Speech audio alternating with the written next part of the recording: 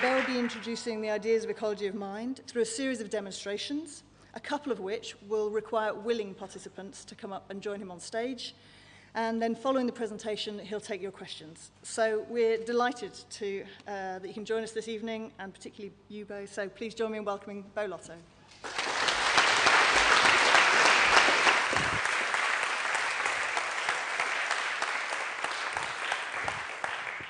Thanks for coming.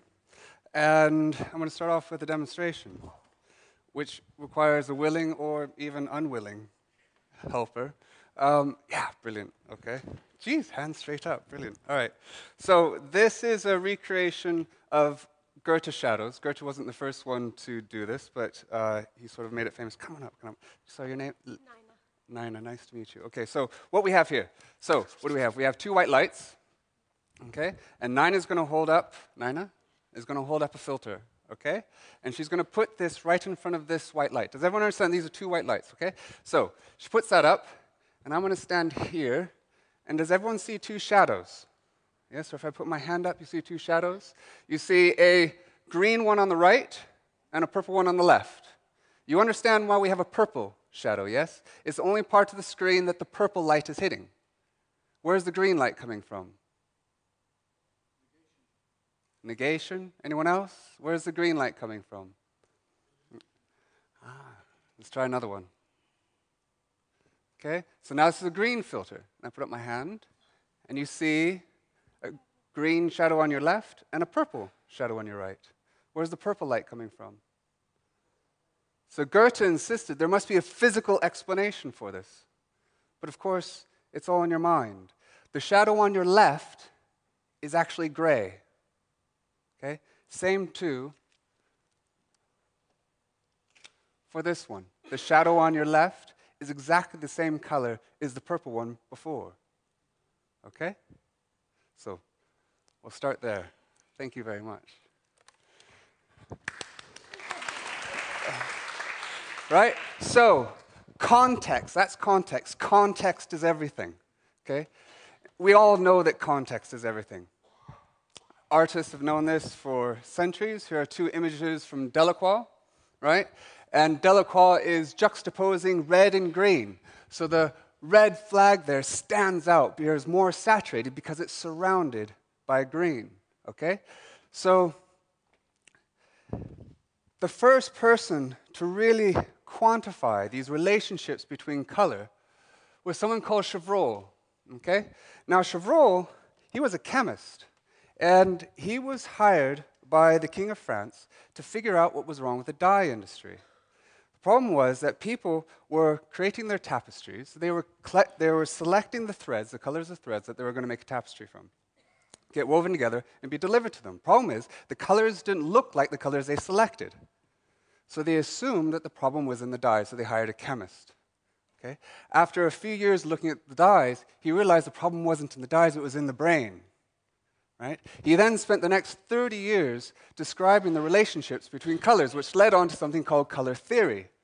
Okay? So in this example, the motif there in the red is supposed to look slightly green. The one in the yellow is so, supposed to look slightly blue. That one's supposed to look slightly yellow, right? Very subtle effects. Okay? And Note that color theory, which drives a lot of what happens in art, is not an explanation of these color effects. It's more a description and a use of these color effects. What I'm particularly interested in is not that context is everything, but why is context everything? Okay? And the idea is that the, to answer this question is to understand how the brain works. If you can understand that, we can understand everything about how we think. And in my lab and studio, we do this all in the realm of color. Why color? Because it's the simplest thing that the brain does. It doesn't get any easier than seeing the lightness of something. Even jellyfish see the lightness of something, right? So if you can understand at that level, then maybe we can understand it all the way up. So, to answer first, why is context everything when it comes to color, we have to answer another question, which is what is color for? Right? And I'll show you an example of what color is for in a second. So, first thing, color is not light. That might seem odd, right? Of course, light generates perceptions of color, but it's not light. So, here's light light is a physical spectrum from 4 to 700 nanometers, from short wavelengths to long, from small to big. Okay? Right? It's a linear spectrum. Okay? That's important. Color is not linear, it's a three dimensional perceptual space. There are three things to describe any color the brightness of the color, the intensity, which is here. We also have the saturation, which is the amount of grayness in a color. And we also have its hue, the relative redness, greenness, blueness, and yellowness of a color. Okay? So even at this level, there's no simple relationship between the colors we see and the light that falls onto our eye. What's more is that if we go back to light, the two ends of the physical spectrum, 4 and 700 nanometers, generate perceptions that are actually quite similar, right? Violet and blue, right? Very similar perceptually, but at opposite ends of the physical spectrum. It's like 100 pounds feeling like one pound, right? So the brain takes this linear spectrum and morphs it into this amazing three dimensional space. Okay? So, what is color for? So that was what is color. What is color for? Here's what's color for. Can anyone see the predator? It's about to jump out at you. And if you haven't seen it yet, you're dead. Right? Can you see it? What are you seeing? You're seeing surfaces in a scene according to the amount of light that they reflect. Okay, has anyone found it? Anyone? Oh, one person. So one survived. All right? Now let's see the surfaces not only according to the amount of light they reflect, but also the quality of the light they reflect. Now, for those of you who should have been selected out, there it is, right? And it's because the panther here reflects the same amount of light as the foliage, but they reflect different qualities of light. Okay? So, differentiating surfaces according to these different qualities is what color is about. The problem is that doing that is actually impossible. Right? What we do every second of the day is actually mathematically impossible. Okay? And I'll explain why. So, what's the challenge of seeing color usefully? One of the problems is that the color of our illumination is variable. Okay? So, here's an example. Here's something from Terrell Sky Labs. We have the different phases of skylight. As you can see, the quality of the blue illumination varies incredibly. And here are some examples of different qualities of both natural and artificial illumination. Okay? Also, the intensity of light varies a billion to one. Okay? So, the illumination in our environment varies incredibly. Which then begs one question, which is uh, why is the sky blue? So, does anyone know the answer to that question, why the sky is blue? Hmm? Tyndall effect. Right. Well, it's a question that's been debated for several thousand years, and many people still think that, uh, well, many people still don't know the answer to the question.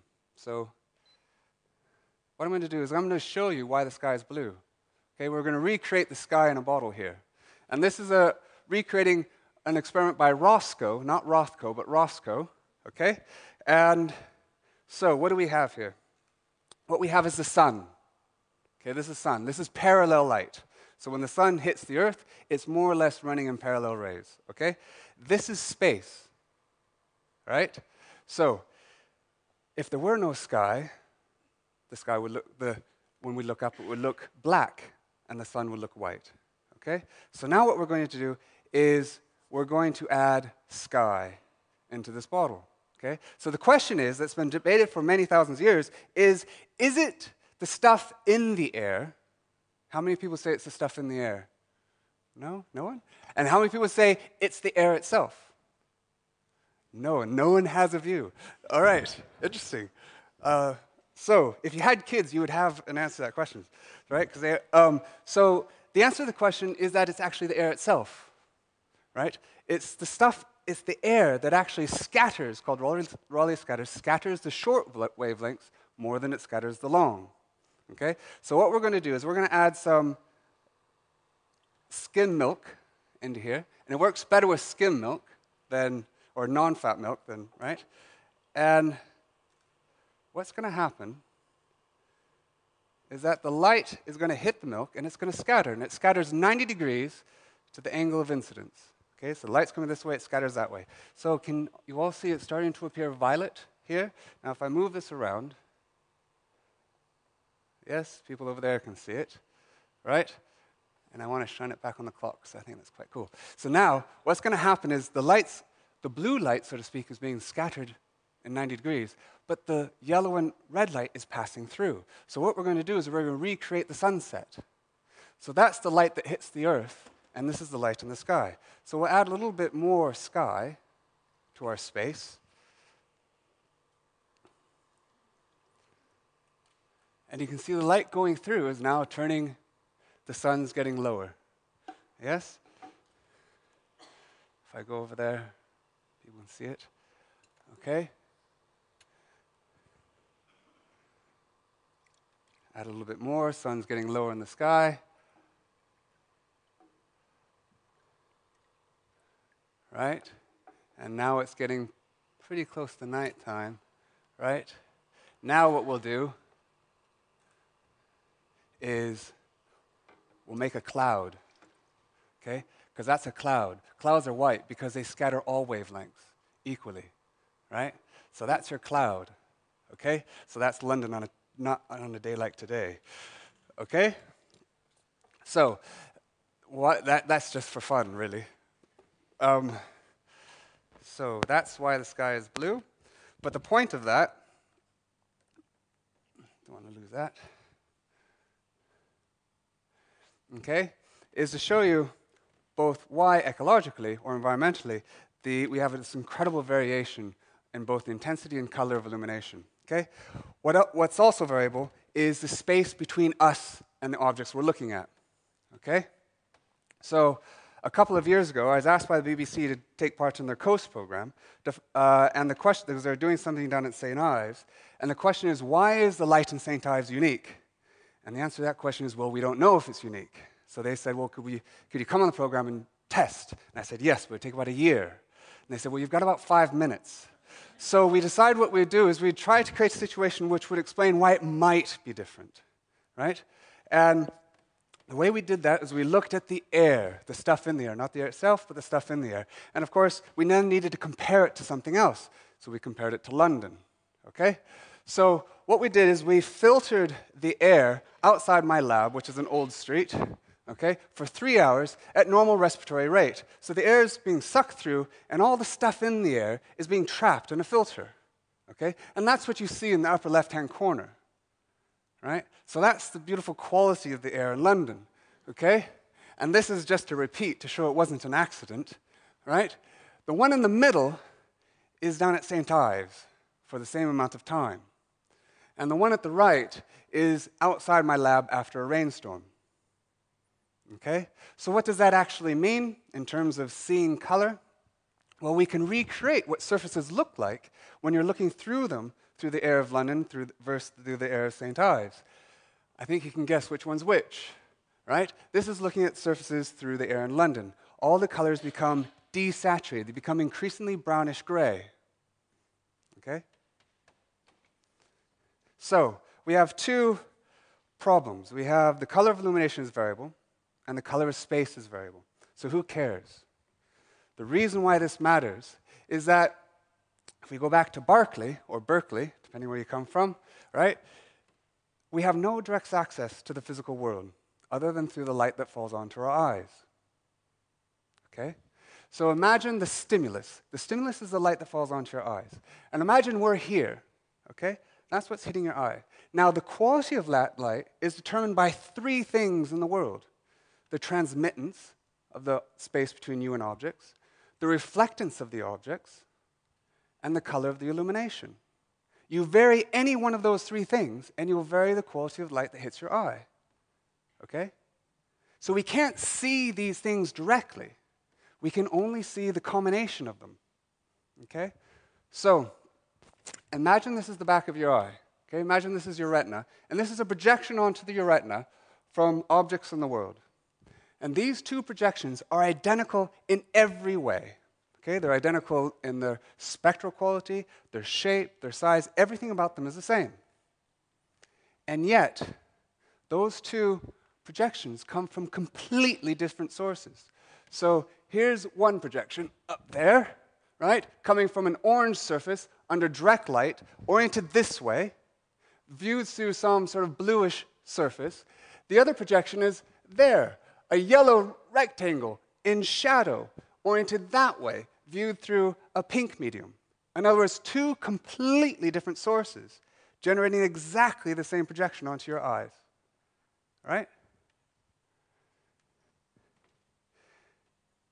If you're, what does that mean? What that means, imagine being given the equation x times y equals z. You're given z, and you have to solve for x without ever knowing why. Impossible, right? There's an infinite number of combinations of x and y that can give you that z. That's the problem that the brain has to deal with. There's an infinite combination of reflectance and illumination that can give rise to any stimulus. A light surface under dark light will generate the same stimulus as a dark surface under bright light. Okay? So if you remember anything, remember that the patterns of light that fall onto you are meaningless because they could mean anything. Right? We might look out in the world and see all kinds of meaning, but that's because you're looking at it after your brain has processed it. What we are not seeing is the image itself, and that image is inherently meaningless. So, how then does the brain see? And the way it sees is that it learns to see. Okay? First, it has to find relationships, patterns in images. And then it has to associate those patterns with a meaning. And it's that meaning that we see, that behavioral significance. So we never see what's there because we can't. What we can only ever see is what was useful to see in the past. Okay? So this is very obvious in the context of language. So, can you read this? Yes? Okay? Can't tell if you're reading it or not. The question is, what are you reading? Right? Because there's no a priori reason why an H has to go next to that W. The only reason why you put an H there is because the statistics of your experience said, well, it was useful when I had a W and an A before to have an H there. Well, why don't you put a letter next to that T? Because in the past it wasn't useful to do so. So you don't. Right?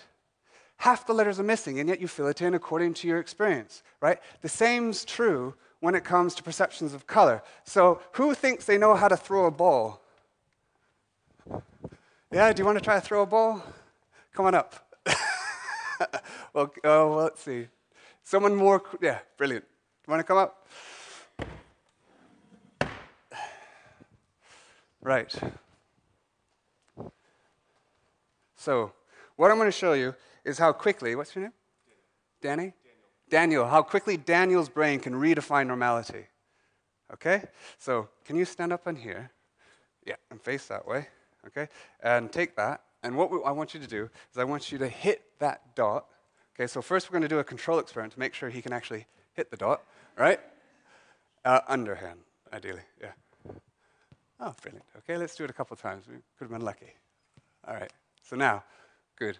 What we're going to do now is put these beautiful glasses on. Okay, let's turn around so everyone can see you. Yeah, and look up. Yeah, lovely. Okay, turn around now without falling over. This could be a lawsuit waiting to happen. All right, now hit the dot. Ooh. So keep trying to hit the dot. So what's happening? Ah, very good. He's got prisms on. As far as he's concerned, the world has been shifted 20 degrees over to the right. That's his new reality, okay? but as you can see through trial and error, his brain is trying to redefine that normality, right? Because he's seeing his behavior wasn't correct, right? But it's starting to become correct, right? And you can see his whole body motion is starting to change. Right? Pretty good. We, it's important that we get you to do this pretty close. Very important. keep going, keep going. Keep going, keep going. Brilliant. Brilliant. One more time. Brilliant. Okay, here you go. Hit the dot. Ah. Let's make sure you go back to normal. So, what's happened? Ah, brilliant. Thank you very much.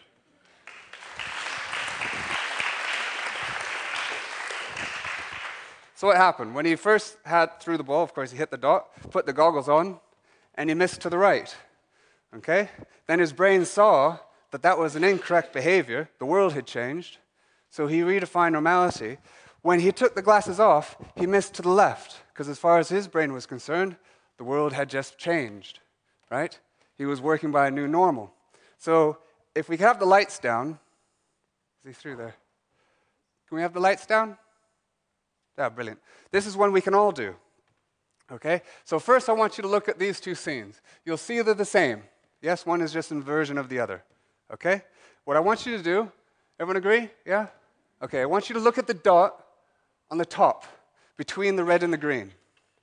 Okay? And I want you to just stare at that dot. Don't look anywhere else. Okay? And I'll tell you what's happening while you're doing that. Your brain is learning that its right side of its visual field is under red light, and its green side of its visual, sorry, the left side of its visual field is under green light. That's what it's learning right now. Okay? That's its new normal. Okay? Let's keep staring at it.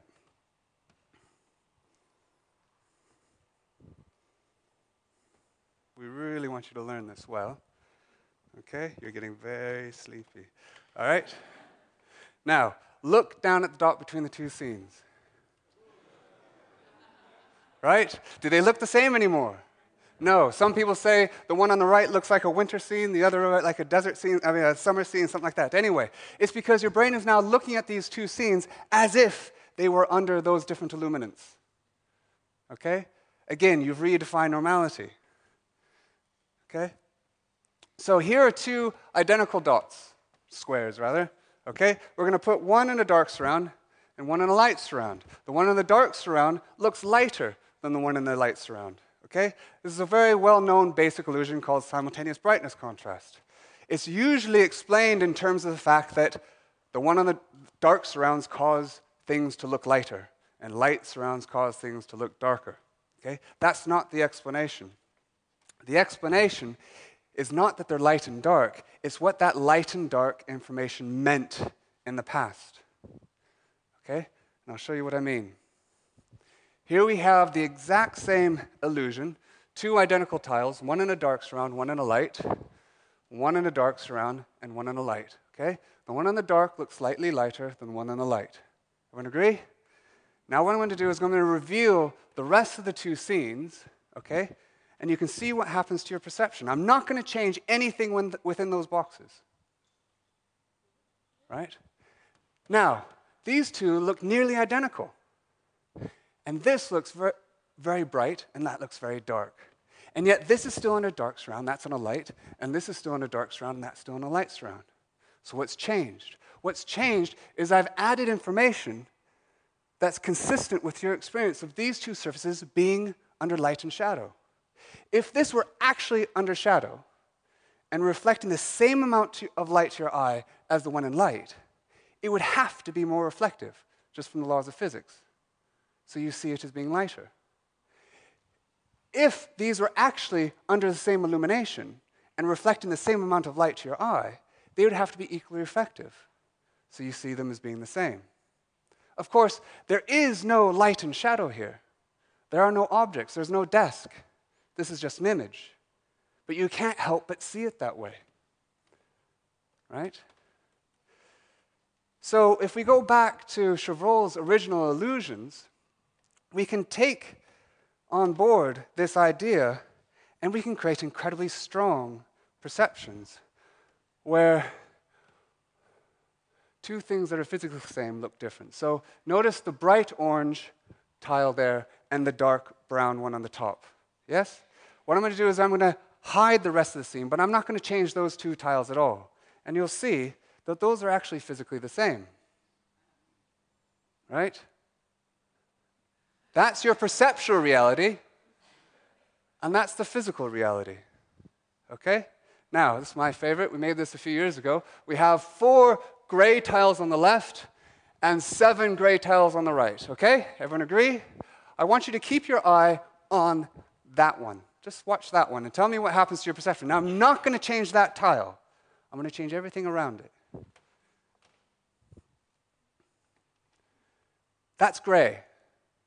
The four blue tiles on the left are physically the same as the seven yellow tiles on the right. They're all gray. Okay? That's the physical reality, and that's the perceptual reality. Everyone understand? Those are not blue and yellow, they're gray.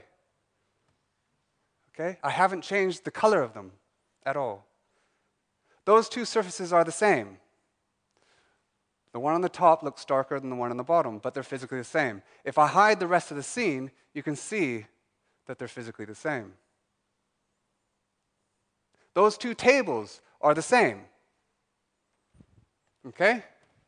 It's true, right? The red one is the green one rotated, which means the height of the green one is the same as the width of the red one, and the width of the green one is the same as the height of the red one. Okay? The only thing that's different is the angles. Oops. So the green bars are the same length, and the red bars are the same length. Yes? Doesn't look that way. What's true for perceptions of color, perceptions of form, is also true for motion. I like this one. So, So what we have, we have a wireframe diamond. Can everyone see that? Yeah, maybe if we have the lights up, would that be possible? So I'm just going to rotate that diamond. Okay? And everyone sees it rotating, of course, and everyone probably sees it spinning this way. Okay? Now keep looking at it, blink your eyes, look around it, and suddenly it'll appear to flip and go the opposite direction. Some people have got it. Yes? If I say it's an IQ test, does that get faster? Raise your hand if you've got it. And every time you blink, it might flip. And when it flips, it also changes shape. Yes? You ever get it? Now, the question, of course, is which way is it actually rotating? How do you know? Right? It could be rotating either direction. That's the problem, right? Your brain bounces back and forth between the two possibilities, depending on where it looks. Okay? What about this? So, as you can see, I'm going higher and higher in sort of cognitive stuff. So, we have just a blob of a bunch of white stuff. Can anyone see a word in that? if I add some red, I haven't changed the white at all. Can now you see a word? Yes? Now, well done. Now, if I take the red away, you can probably all still see it. Yes?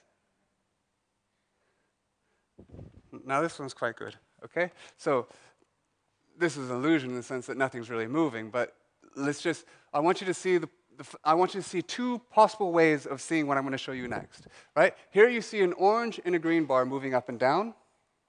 And here you see an orange and a green bar moving as an X, left and right.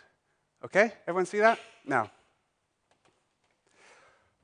what I want to show you is depending on how you look at something, without changing at all, just how you look at something will change the way you see it. Now, everyone probably sees an X going backward, back and forth. Yes? What I want you to do is I want you to look at the junction between the green bar and this purple background. And when you do that, you'll, at some point, the green and the orange bar will flip and they'll start moving up and down. Yes? Do you get that? Now, what I want you to do is I want you to look at the junction between the green and the orange bar. And now you have an X. And you look there, and now you have two bars. And depending on where you look, you'll see exactly opposite perceptions. In fact, in my lab, if we get you to stare there and attend to these different points, your perception will change. So the pattern of light that falls in your eye has not changed at all. It's just how you attend to it will change what's perception. Okay? So, what does this all mean? Okay? The illusion of illusions. Titchener, this is a quote of Titchener's work, who is um, an artist who was up for a Turner Prize a few years ago, and he often uses illusions in his, in his installations. So, here's a quote of his stuff. Titchener uses dizzying optical illusions to demonstrate, the, to emphasize the fragility of our senses. Okay? Which I have to say is complete rubbish. All right? Human perception is not fragile.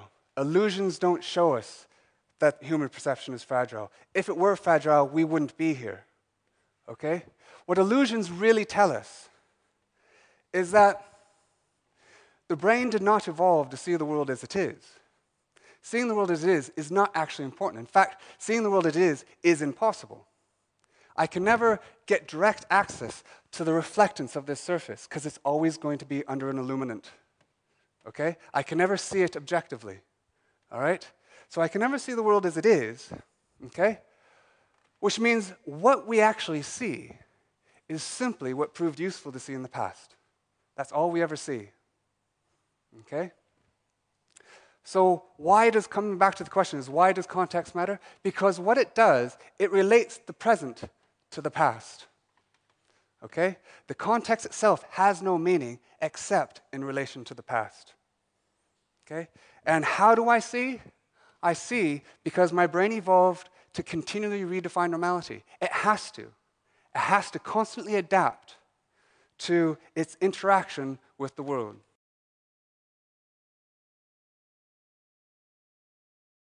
Are we the only critters out there that see illusions? Okay? Well, the answer to that question is no, because this problem of ambiguity transcends humans. It applies to any visual system. Bees, for instance, even see illusions. All right? So, here's the, what we call the B matrix in my lab, right? We call the B matrix because we can completely control the visual history of a bumblebee.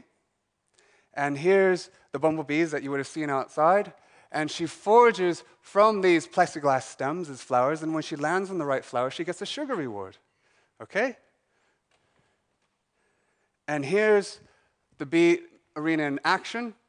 This was an installation in the Hayward and various other places, so we sort of take it on the road. There's your queen. These are all the daughters. These are the eggs. The bees go, the foragers go back and forth from the hive to the arena via this tube. Okay? And that's a guard bee. And you'll see one, bee, you see she's got a little number on her. There's another one that comes out. She sees got a little number. Okay, they're not born that way, right? We pick out the foragers, because not all the bees forage. We pick them out, we put them in the fridge, and they go to sleep. And then we can superglue a little number on her, right? And now she's getting reward if she goes to the blue flowers, right? So she's sticking her tongue in there, called proboscis, which is like a long straw, and she's sucking up the sugar water. Now that's like drinking a glass of water that big to you and I, and then flying. Right? Often, what they learn is to copy the other bees. So now here she comes. She she's coming down the ladder, and she's going to find an empty egg, which is, a, which is a honey pot. Okay? And then she's going to throw up into it. Okay? And that's honey. Okay? Now, she's supposed to be going to the blue flowers, right? Right? Now, what are the bees in the upper right doing? Right? They're supposed to be going to the blue flowers. Now, actually, she's got it right. She's going to blue flowers under green light. So they've parsed those flowers into different quadrants, and they're looking at the relationships between the colors in order to figure out which one to go to. They're phenomenally clever. They can count to five, they can recognize human faces. They're amazing, right? What's more, we can track the flight of the bumblebee, literally, within this space. Now, this is a bee that's entered the arena for the very first time. She doesn't know where to go. She knows she gets a reward if she goes to these flowers. And knows she's flying like this around the opening. That's because, just like you, if you were to walk out of your house for the very first time, what you would do is turn around and see what your door looked like. That's what she's doing, so she knows how to get back home. Now she's going out and she's testing randomly flowers because she doesn't know which one's rewarding. Okay? Same bee. Two minutes later, flies out of the hive and lands on a flower. Right? Amazing, I think. Now let's show how good we are at doing this. Now, these are automated robots that are supposed to be able to move around an environment all by themselves. Okay? And these are the top minds around the world creating these autonomous systems. Right? Millions of pounds go into this are spent on trying to get these vehicles to navigate the space. Okay?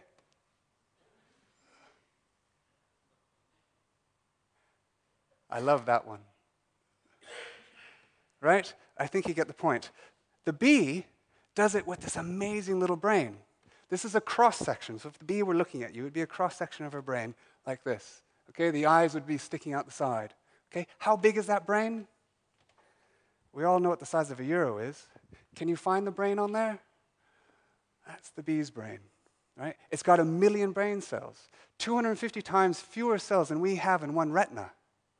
Is able to do the things that our most sophisticated computers can't do, right?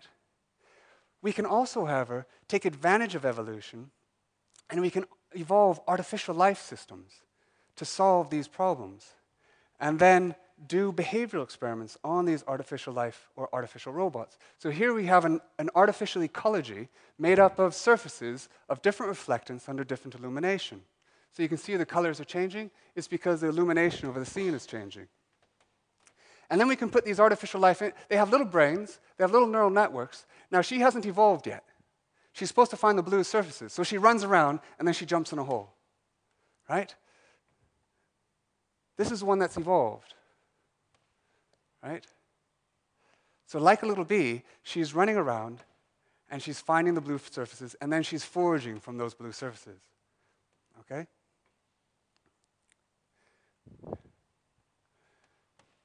Here's one that reproduces there. So, everything about this is open ended. Okay? It is evolution in the computer. Everything about them, they have to decide whether to mate sexually, asexually, whether to eat, how much to eat, whether to move right, left, up, or down. Okay? Now, what's amazing about these little systems is that they not only get it right like we do, they can recognize surfaces under different lights, they also get it wrong exactly like we do. So they would say that those two surfaces are different.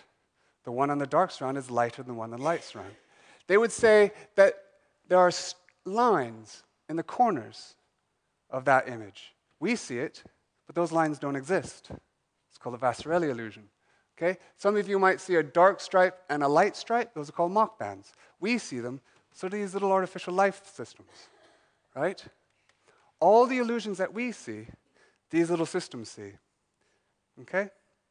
So I'm going to come to a conclusion so far, which is this that the brain is actually a liquid architecture, okay? That evolved to continually redefine normality. Okay? What we see, conceive, and believe are manifestations of our past interactions with the unknown sources of meaningless information. Okay? There are no absolutes, can't be, only perceptions of a world relative to a changing normal. Okay? That's true at the simplest thing that the brain does, seeing color. So it has to be true all the way up. Okay? So who cares? Should this matter to anyone outside neuroscience? What I'd argue that it does matter. Because it says something also that transcends neuroscience, which is that no one is an outside observer of nature. Okay? No one is defined by their essential properties, by the stuff that makes us up. Okay? Each of us are defined by our ecology, by our interaction with our environment. Okay? And that interaction is necessarily relative, historical, and empirical, i.e., it's through trial and error. Okay? That's something that applies beyond neuroscience. In fact, it's the basis, I'd argue, for three principles or three ideas. One is compassion, okay? And I'm just going to read it. to see one's thoughts, to see how one's thoughts, feelings, and beliefs are necessarily relative to one's own physical, social, and cultural ecology is a route to a more compassionate view of nature and human nature, right? Because if I understand that everything I see, even, even see, is grounded in my ecology and my history and my experience, it means that I can have a more empathetic view towards someone else whose views might differ from mine, right? Similarly, creativity. Okay? By understanding this, I can become an active agent in the creative process rather than just a passive one. Okay? It also underlies choice. Okay? By understanding that much of our behaviors are cognitive reflexes, right?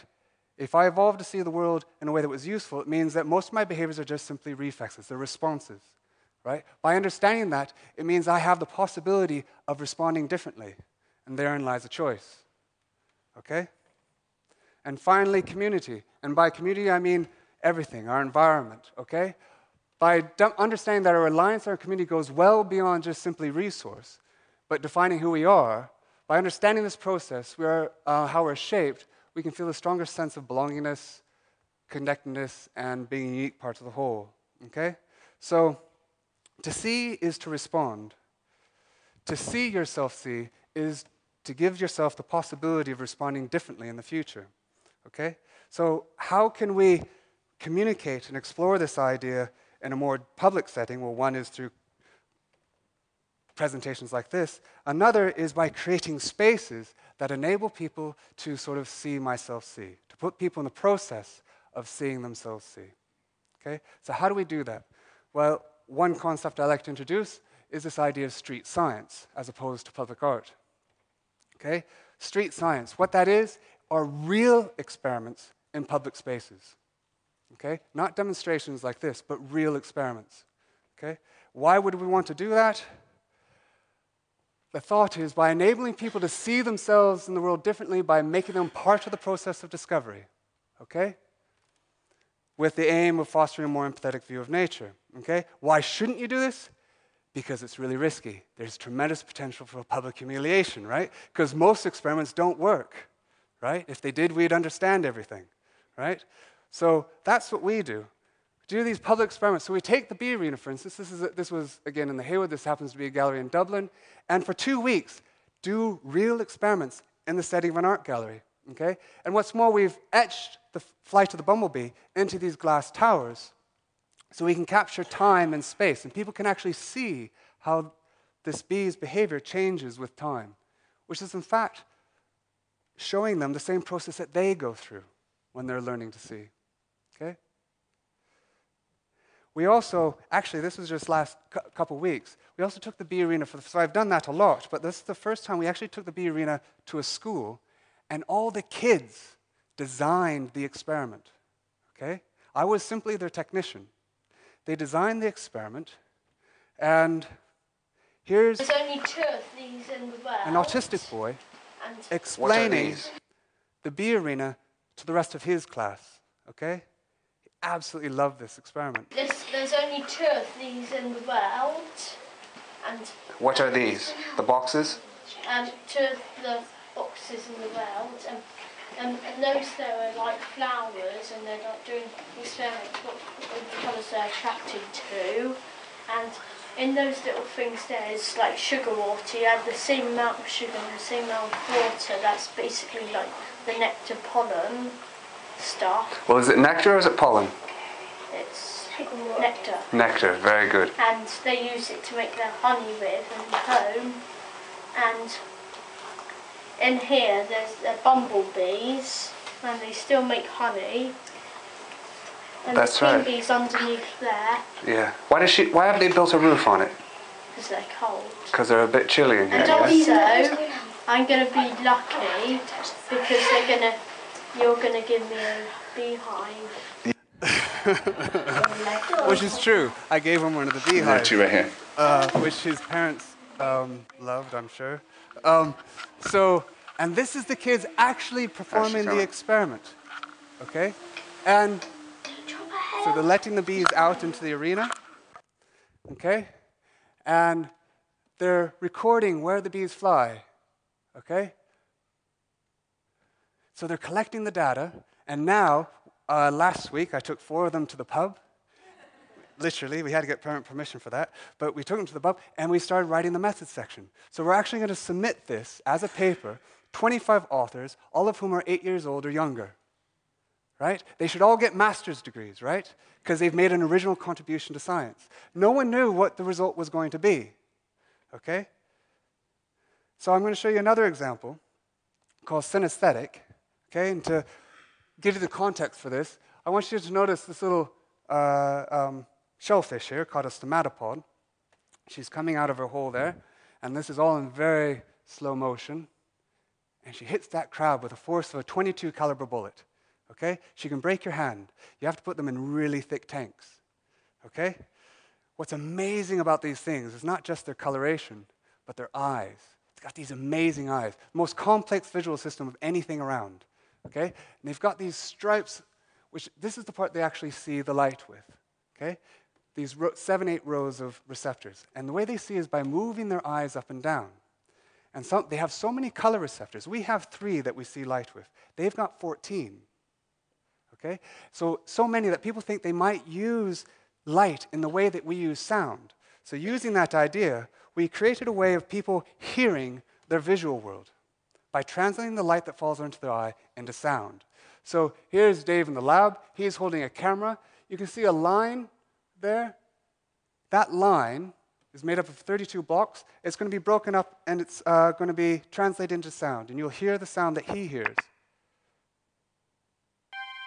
Now he's going to close his eyes.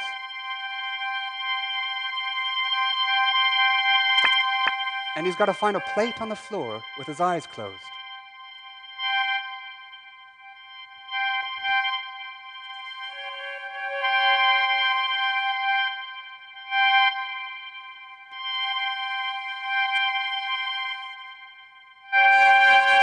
Does it, right? So we can use this not only to create a prosthetic for the visually impaired, but we can enable people to experience the world in a completely different way, but also put them in a position of learning to see, learning to make sense, literally. Okay? But we can also enable people to make music with color. So, again, working with kids, though we're also working with uh, the London Sinfonietta, Tate Modern, various other people. But more fun is to work with kids, and it was, they had to learn about patterns you see, patterns you hear. What might the patterns you see sound like if you could listen to them, right? So then they went off, and they had to make visual patterns according to what they might sound like. Okay? So they're learning about abstraction and relationships whatever, using those words. And here's what they've recreated.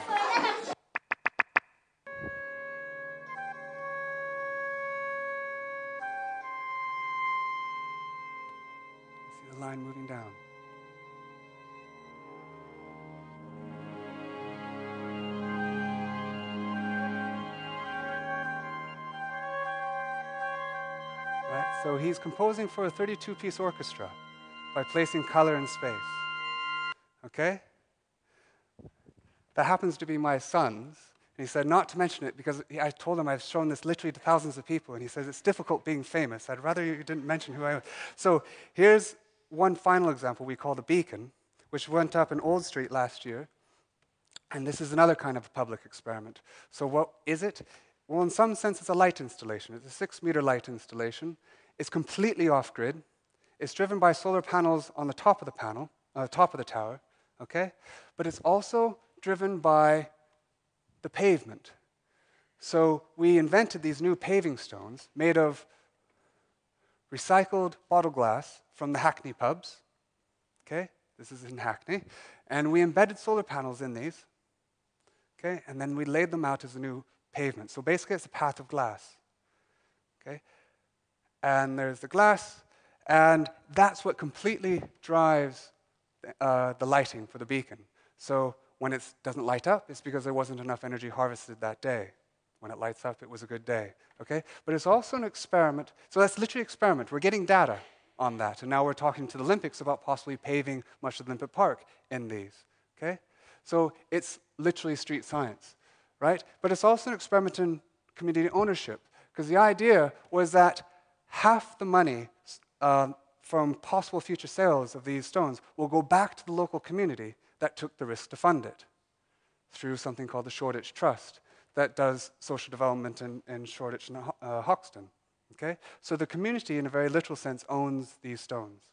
Okay? And finally, our last project is that we're creating a new school, which is based on we're both the curriculum and the architecture, based on the concept of seeing yourself see, where the emphasis again is on compassion, creativity, choice, and community.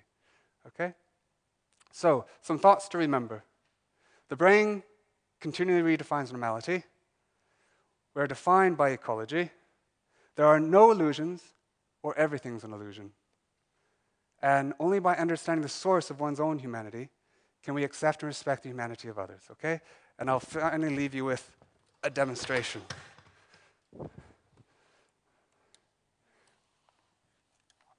Oh, actually, what I was going to do, I was going to put it up here, wasn't I? All right. So,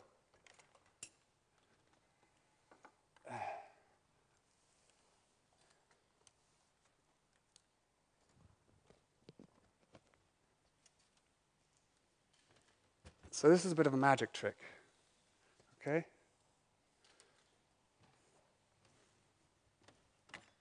Oh, let's see. If I have it down here, can everyone see? Uh, better up there? Okay. If you give me one second, do you mind? I'll just move that back. I need those.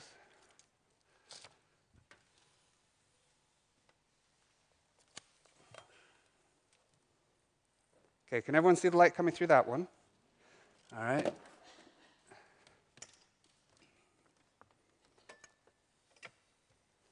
And everyone see the light coming through that one? Okay, so what do we have here?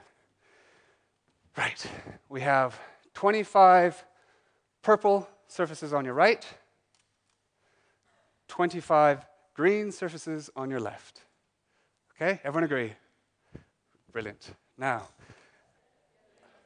yellow Pink and yellow. All right, pink and yellow. All right? Those are different from those.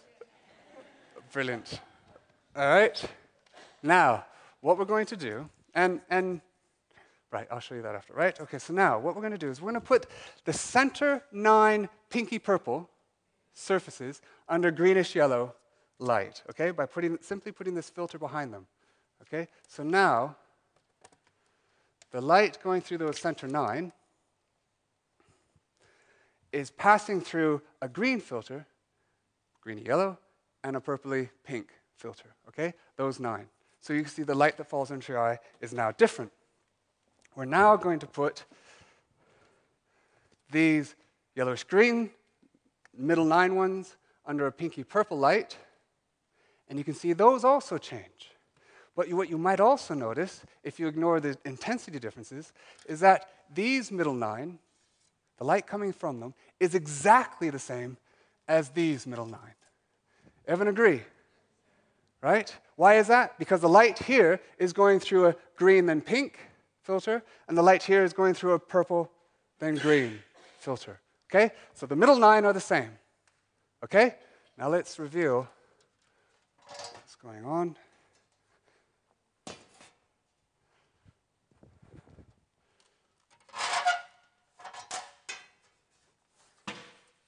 Now remember, those middle nine are the same.